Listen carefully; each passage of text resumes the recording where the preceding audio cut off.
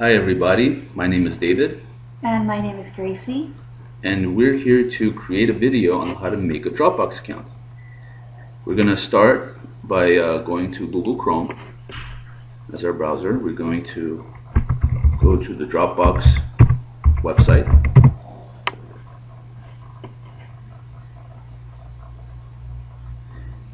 And basically what we're going to do is, this is a Windows 7 machine. Dropbox is multi-platform, so you can install it on pretty much any device.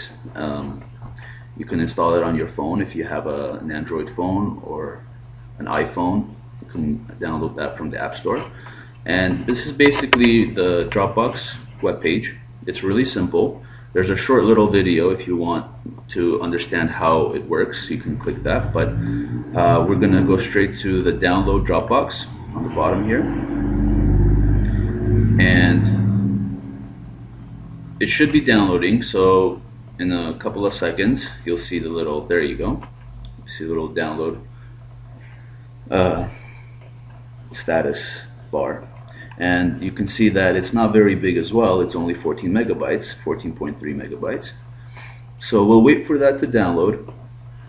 And um, so Dropbox is a very simple cloud drive that's basically how it works so if you have a, some important information that you want to have with you all the time you can use Dropbox and basically you can um, sync it to all your devices. If you have a desktop, you have a laptop, you have your phone, and um, you could use it anywhere. So we're going to wait for it to download, and then we're going to, there it is, now we're going to install it. So we'll go click on it.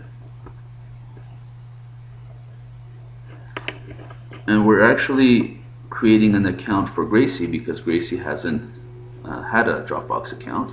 She doesn't know how to use it so this will be a perfect opportunity for her to create an account and we're gonna use some basic features. So we're gonna click yes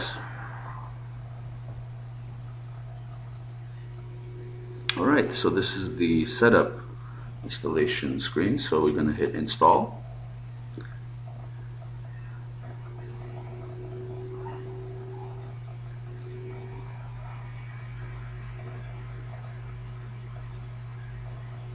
Dropbox doesn't require any specific, I guess it, it, requires some specific information, but not too much information. You just need your name, last name, email address, uh, the password, um, and then you can start using it. So it's really simple to set up and use. So we just uh, installed it, and we're going to wait for it to uh, come up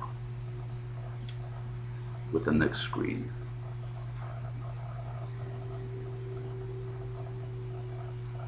There we go. And so we have two options. Um, for the ones that already have an account, you can just go already have Dropbox account on the bottom and you can just put your email address and your password and then you can just log in. Um, but since we're creating a new account for Gracie, we're going to go with the option one and we're going to hit next. I'm going to have Gracie take over this computer and she's going to fill in her information. Okay, so I've never used Dropbox before. This is my first time, so I'm just going to go ahead and fill in what it's asking for. My last name, I'm just to put Zach. That will work. Um, email.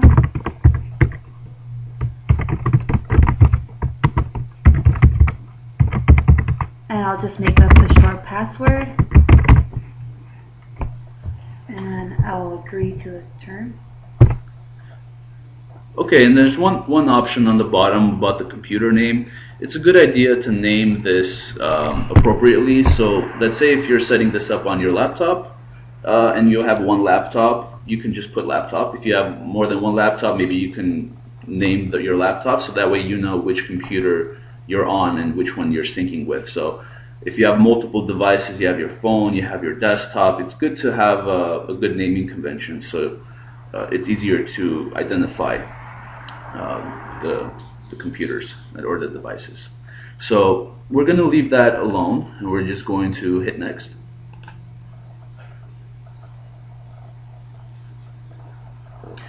And here we have a couple of options. Um, uh, we're going to go with the free account, obviously. It's a 2 gigabyte. It's not that much uh, storage, but uh, it's going to be enough to for us to use uh, for whatever purposes we're going to be using it for for this tutorial. Um, but you see you have more options. Uh, for $9.99 you can get a 50 gigabyte storage capacity or you can get a 100 gigabyte capacity for $19.99 a month. So we're going to go with the 2 gigabytes. Hit next and then we're going to go with the typical installation. Um, well, you're usually not going to get this error message. It's not an error message, it's a warning. I've had um, Dropbox on this computer already, so it's saying that if you want to uh, merge with uh, with your other folders that you already had with the Dropbox.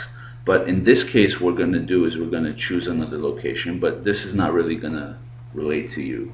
So I'm just going to create a new folder, call it Dropbox 2, and click OK.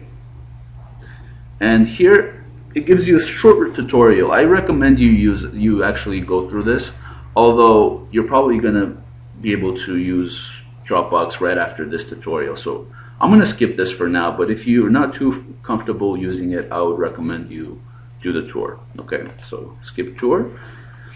And we're going to hit finish with the open my Dropbox folder now check mark.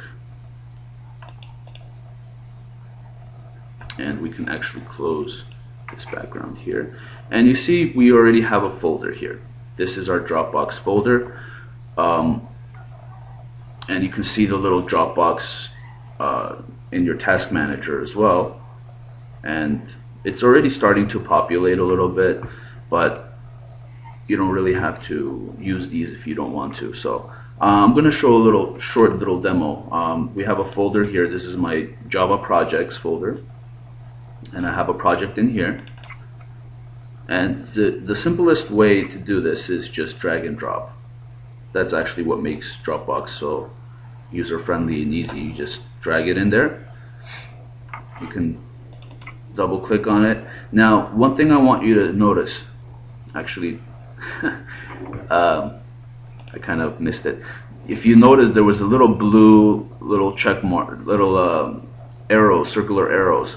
That shows that it's being in progress. Like I'm gonna drop another one in there just so you can see the little blue.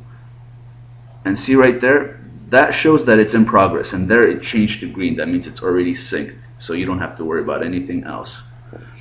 And so that's pretty much it. That's how you use it. Now whenever you want to log in to Dropbox from a computer let's say a library um, that you don't want to install you don't have access to install Dropbox you can just go to their web page or website and you can click on the login here on the right corner. And Gracie's going to log in for us.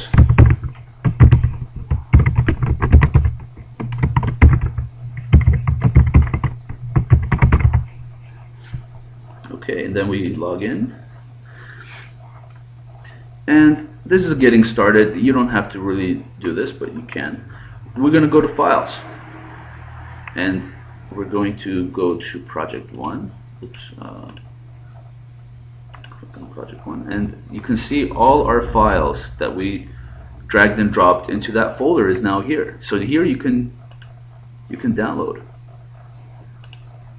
Download file, move file, rename, you have all these options. And that concludes our video. I just wanted to say thank you for watching our video and I hope this really helps. Thanks, everybody. I know it helped me a lot. Great. Have a great rest of the afternoon.